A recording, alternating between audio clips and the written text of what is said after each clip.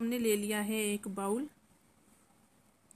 Bowl में हम सबसे पहले डालेंगे घर में यूज़ होने वाला, जो आमतौर पर हमारे पास होता ही है, बेसन का।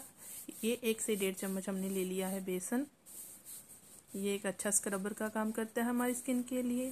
साथ ही हम ऐड करेंगे एक से डेढ़ चम्मच कर्ड का। इसी के साथ हम इसमें डालेंगे एक पिंच हल्दी की।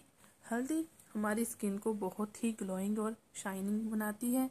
साथ ही हमने इसमें ऐड कर लिया है ऑरेंज पील का पाउडर जो कि हमने सुखा कर रखा था। उसकी वीडियो हम अलग से अपलोड कर देंगे। इन सब चीज़ों को हमने अच्छे से मिक्स कर लिया है और एक अच्छी सी पेस्ट बना ली है।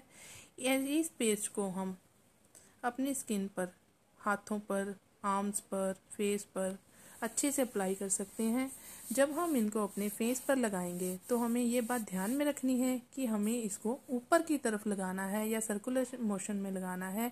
लेकिन कभी भी हमें पैक लगाते समय स्किन के ऊपर से नीचे की तरफ़ मूव नहीं करना है। इससे हमारी स्किन बहुत लूज या नीचे को लटकने लगती है।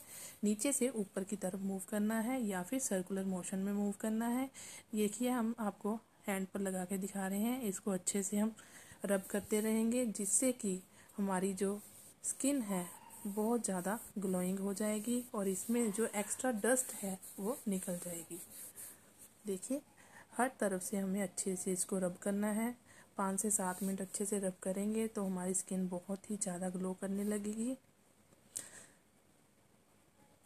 इसी तरह हम ये पैक अपने फेस पर और आर्म्स पर भी अप्लाई कर सकते हैं। ये एक बहुत ही नेचुरल उपाय है, जिसका हमारी स्किन को कभी भी कोई नुकसान नहीं होगा और एक अच्छा स्क्रबर का काम करता है। कर्ड जो हमने इसमें यूज़ किया है, वो हमारी स्किन को सॉफ्ट और मुलायम बना देता है। देखिए, इसको हमने अच्छे से रब कर लिया था। अब हम इसे पाँच से दस मिनट के लिए छोड़ देंगे। जब ये थोड़ा ड्राई हो जाएगा, तब हम इसको थोड़ा सा रब करते हुए वॉश कर लेंगे। पहले इसको थोड़ा सा रब करेंगे। देखिए, कुछ इस तरह से।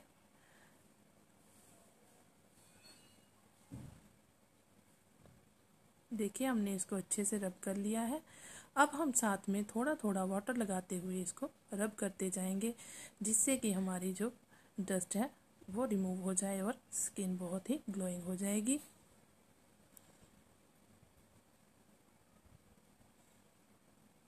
देखिए, ऐसे रब करते करते हम थोड़ा थोड़ा वाटर लगाते जाएँगे और इसको सर्कुलर मोशन में रब करते जाएँगे।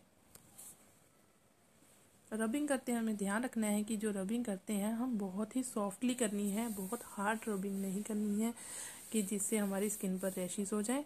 बहुत सॉफ्टली इसको रब करना है। देखिए रिज़ल्ट आपके सामने है। अभी हम इसको हैंड टावल से या किसी सूखे कपड़े से अच्छे से क्लीन कर लेंगे। उम्मीद करती हूँ कि आपको हमारा ये आइडिया अच्छा लगा होगा।